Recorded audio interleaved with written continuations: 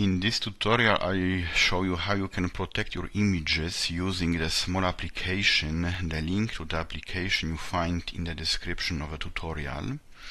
Uh, and for example to protect uh, your image we select one image here and now you can add some metadata into the image for example your name as author and what is the most important thing here? That's the license type.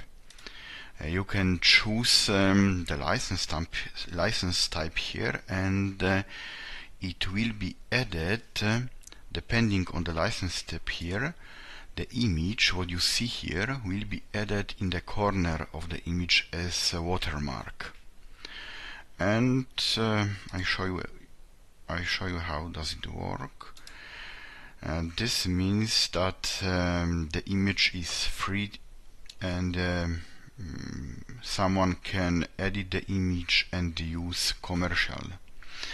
And now if I push protect the image uh, will be protected and you will see in the corner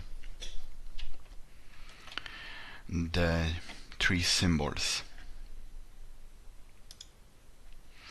and that's all.